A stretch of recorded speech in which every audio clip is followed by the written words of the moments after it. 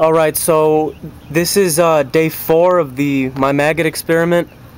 As you can see, there are hundreds and of thousands of maggots in here.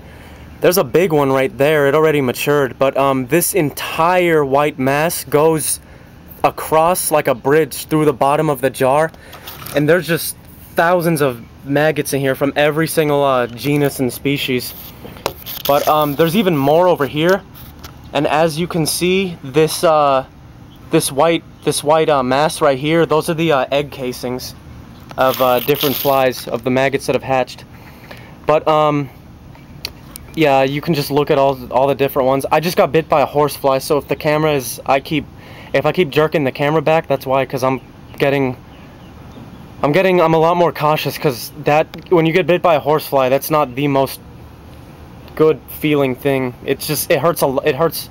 They're very painful to be bitten by. Uh, it hurts a lot more than a bee sting or a wasp sting. But um, yeah, those are the maggots.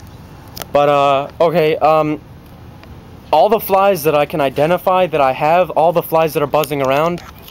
See, there's one right there. It's pretty huge. You can't really see it on the camera. But there's a lot more flies in, in there. I put a paper towel on the top with a rubber band so that um, no more flies can get in. Yeah, I know, the flies, these flies that are in there will probably die, but um, I'm gonna leave this this uh, paper towel on top of it for another day or two, and if they're still alive, I'll let them out, because I just, I, or now I just really want maggots in there. But, um,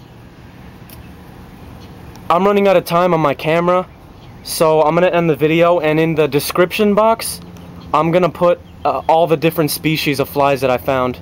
Oh, and right here, you can see all the tunnels, tunnels that they dug, but, uh, bye.